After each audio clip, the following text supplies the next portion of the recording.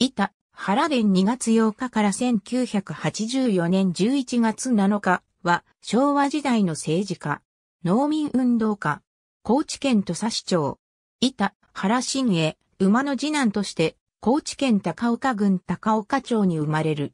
高岡町高等小学校を中退し、農業に就いた。小作農家として、貯加工、養蚕に従事した。1929年高知県穀物検査の制度化に反対し、農民運動を進め、制度は廃案となる。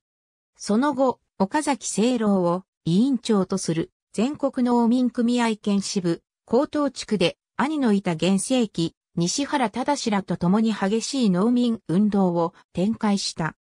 1945年戦後の農民解放指令、農地改革となり、1946年農民組合が新たに発足し農地改革推進の中心的役割を担うようになる。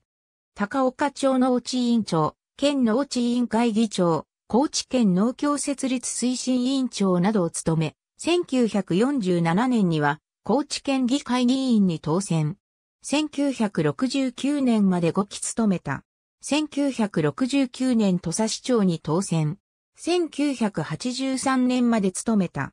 市長在任中は、水や貧困からの解放に尽くした。他、高岡町農協長、県医業振興会長、仁淀川改修規制同盟会長、県市町村同和行政連絡協議会長、四国治水規制同盟会長などを歴任した。ありがとうございます。